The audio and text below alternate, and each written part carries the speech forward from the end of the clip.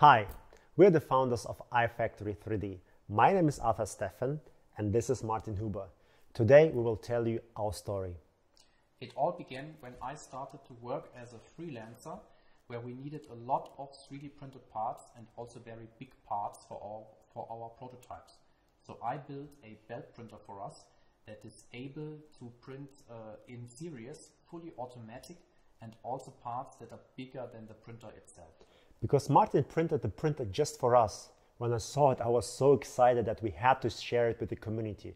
So we put it online on open source and shared it with the Thingiverse community, where it has been downloaded several thousand times. And after that, our friends and companies and other makers came to us and asked us, guys, please print a, uh, print, uh, build a printer for us. But we weren't ready.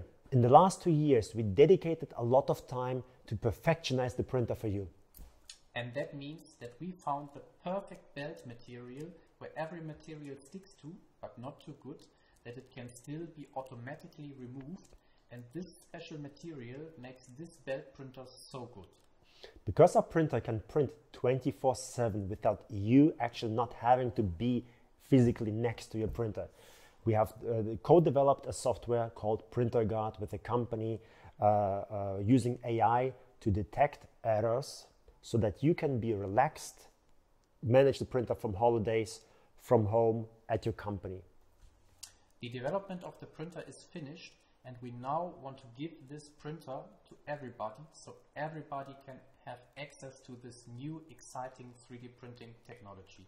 And to make this happen, please help us on our Kickstarter campaign and back our printer. iFactory